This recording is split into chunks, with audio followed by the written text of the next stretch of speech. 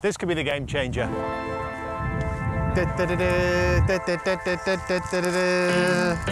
The first thing that I want to achieve on this golfing journey is really simple. It's to get better.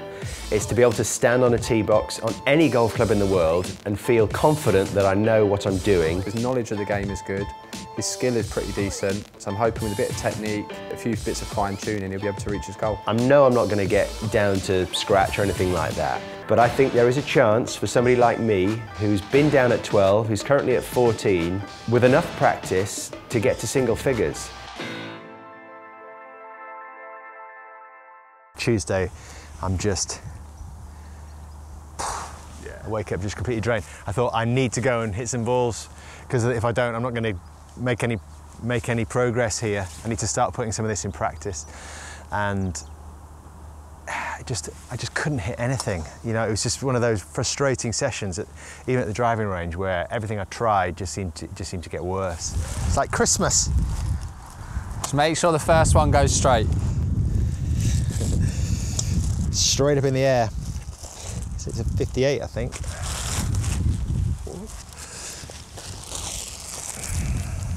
Fifty-eight. Yes. This is it. This is for the Mickelson flops. We'll stick to the bump and runs first, then we'll, then we'll work to the Mickelson flops. And I've, I've watched another video about flops since I last saw you. That's what you want to do now. I saw Tommy Fleetwood do a flop. I was like, what? Gary ordered a 50, a 54 and a 58. Right.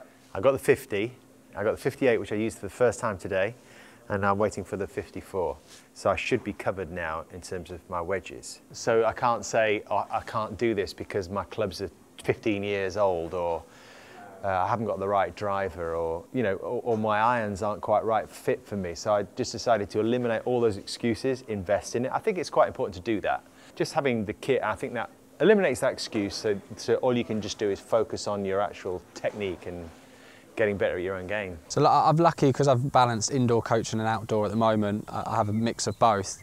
I've got used to doing that, um, but indoor is much more about building a golf swing and getting the technical things correct, getting them to be able to hit the same ball flight over and over. And as soon as you put them onto the golf course, you start to see they've got more fear, uh, more anxiety over shots. It's when they have sloping lies, they just don't know what to do with those things. So it's very different. Oh, that that's when you move too much in front of the ball. So if I was hitting this way, you've gone here on your backswing and you've got too much in front of the ball. That's why it's making that thick sound. When you get more behind the ball, so take the club back. When you're more there, then start your downswing. You sweep the ball, so you get that really nice connection. Today, to prepare for it, there's way more variables and way more shots that we have to cover. But happily, that's why I asked David at the start, what are you struggling with? And when he starts talking about bunkers, driving, um, hitting out the rough, I can tackle those three things, show him how to do it. He's actually, luckily today, got it straight away, hit some lovely shots, and his confidence comes up. So now if I don't see him for a couple of weeks, he knows how to handle those situations. This is what I brought to the golf, golf course last week. It's like this, watch this. I've been hitting them miles inside. Huh, that's gone two fairways left. Great drive. Ooh, that's big. Good shot that. Right, because you're confident, I'll, I'll leave it there. I'll leave it there. One and out. So what we're going to structure it like today is first one or two holes. I just want you to play as if I'm not there. Yeah, just play as if I'm not there. I'll, I'll, I'll be bugging you and saying what you're thinking, what you're doing, but I just need to learn how you problem solve and do things. Yeah.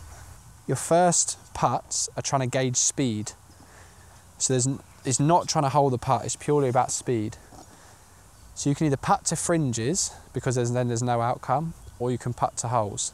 I would recommend putting a fairly flat putt to start. So that one there is downhill and nasty. So where that gentleman's just putted to, I would hit a few putts, and all you're trying to do is get it in a dustbin lid and get a feel for speed.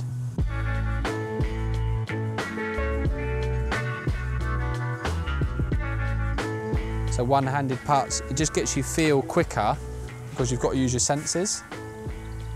So already I've learnt from this course, they're fast, but they're borrowing a lot more than what I would have allowed because I would have only gone about a foot outside left. So now I've learnt, God, these might be loads more break. So I'd have to, when I go on this course today, I would learn they're going to break more than the last course I played.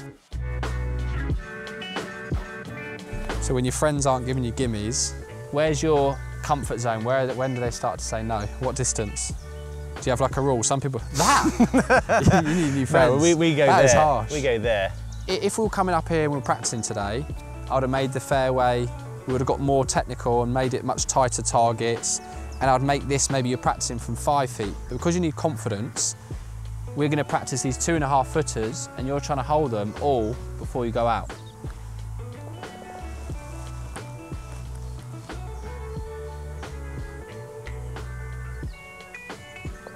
Okay, now this one. Just going to have a little bit of left to right on it, this one. Good. Two, that was nice. Okay, can't miss. Let's get out there.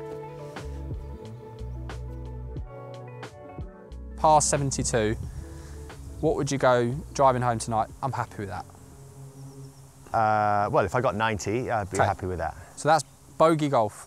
If we bogey every hole, that's 90. You throw a few doubles in there, a few pars.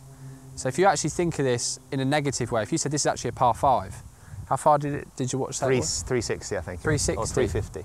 So you could hit hybrid 200, and then you'd have 160 in, which could be seven iron short of the green, chip and putt. But I think you've got to be braver with that.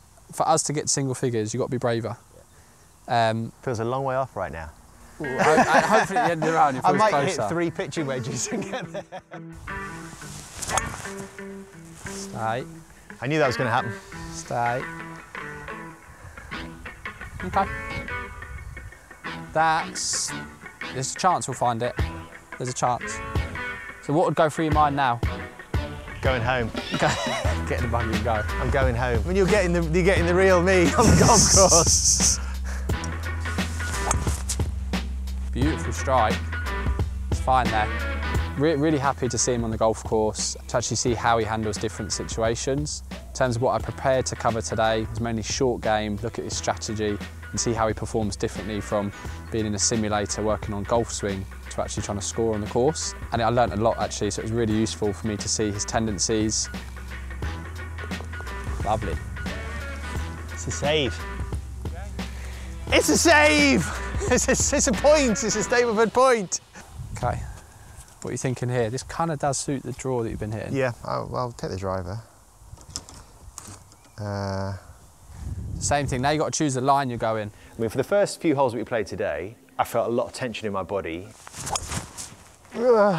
Day. and we talked about it, and I think that increases my swing speed quite a lot. And as soon as I start doing that, my ball striking quality drops massively.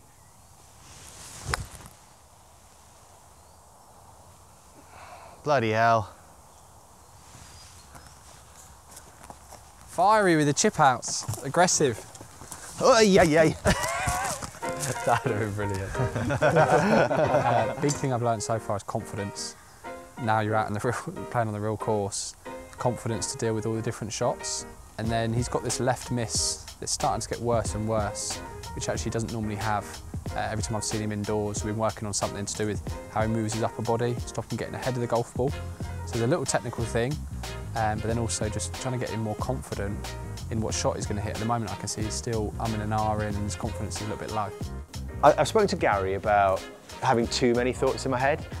You know, I got into quite a bad place in my golf in the last couple of weeks after we're, what, three or four lessons in.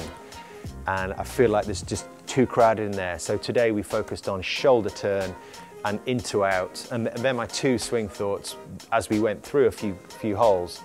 Um, where I know if I focus on those two things, there's a pretty good chance of success. Some technical things that changed was uh, the swing we're working on with his left shoulder, trying to turn more behind the ball. He did a good job at that. He was actually coming more out to in, cutting across the ball on the golf course. So we had to jump in and add, a, add something to do with his club path that we've tweaked with indoors as a new change. Beautiful strike. And his short game he was making out was a lot worse than it was.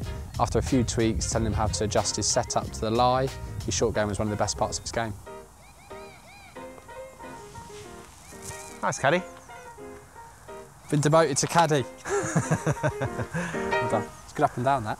It's that immeasurable thing is confidence. You, you can't, you know, see it. Inside, they know deep down how confident they are on something. So I think it's huge because you can give them the technical things that they need to do and you say, hey, move the club like that. But if you are nervous as hell inside and you've got no confidence and fear over the golf shot, your technique could be great, but if you're pulling out the shot because you're so worried about it, the outcome's going to be poor. I think the value of being on course is, is tenfold. When you get on a golf course and you're on the tee and you've only got one crack at this and you've got trees to the left and trees to the right, when you're standing in a simulator, there's no pressure. When you're standing on a tee with, at an actual golf club, there's so much that can go wrong. And, it, and it's just a different mental challenge, I think, for me that I find. I think confidence is huge. The way I do it is you add the, the technical things. We've worked on his technique to make him hit the golf ball better, and then he needs to trust it. And the trust stage is how you build confidence. So technique training we've done indoors, he can do it on the range. Trusting it is going out on the course. He might only do three holes, six holes, nine holes, but that's where he's trying to perform it and then build the confidence so then he can take those shots on the course and play in pro-ams and perform well. Brilliant shot. Well played. Well, we all know that I set out this challenge of single figures, and that feels like a long way away right now. You know, we talked about little targets, so breaking 90. Oh, there you go. Is uh, on, on the new course that I joined is a first target, which I haven't come close to doing yet. So I would, I would be reasonably confident that if I managed to take what we've done well today uh, into tomorrow, that I could do that. And I think that then I would feel like I'm, I'm making progress.